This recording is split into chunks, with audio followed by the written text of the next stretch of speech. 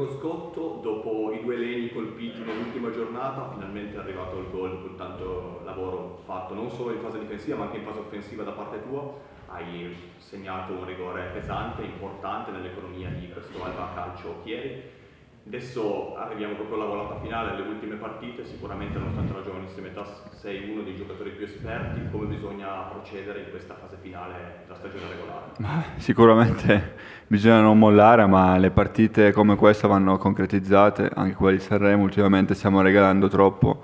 Facciamo, commettiamo degli errori, delle ingenuità che non possiamo permetterci, eravamo davanti, il rigore pesava ma era andato dentro, avevo cacciato bene e bisognava portare la, la, partita a casa in qualunque modo. Purtroppo l'abbiamo fatto, adesso ci sono questi due giorni per cercare di metabolizzare questa tristezza, se così si può chiamare, e poi da martedì pomeriggio ripartiremo per preparare la partita di,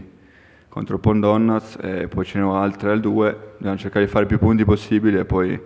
il 5 maggio vedremo a che punto siamo, cosa ci aspetta, ma sicuramente dobbiamo dare di più e non possiamo fare certi errori soprattutto in questo periodo dell'anno.